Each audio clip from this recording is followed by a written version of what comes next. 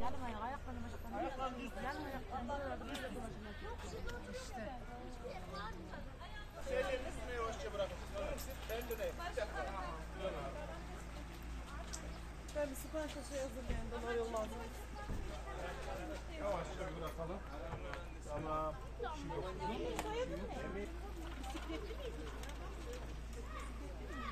Bisiklet aradan önüne çıkmış. Şimdi